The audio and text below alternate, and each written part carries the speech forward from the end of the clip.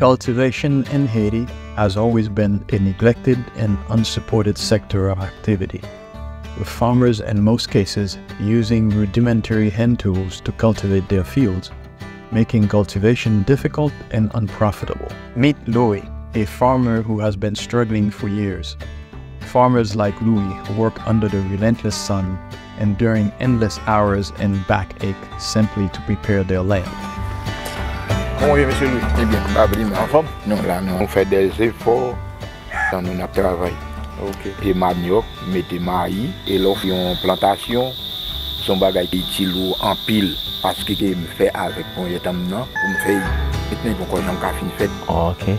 Our mission is to provide innovative and sustainable solutions to make life easier for these farmers, enabling them to do in a few hours what used to take weeks of sweat and effort.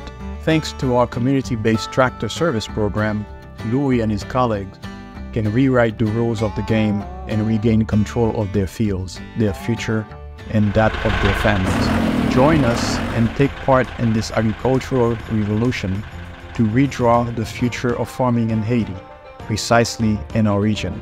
From the pickaxe to the mighty tractor, we are the engines of change, cultivating a brighter tomorrow.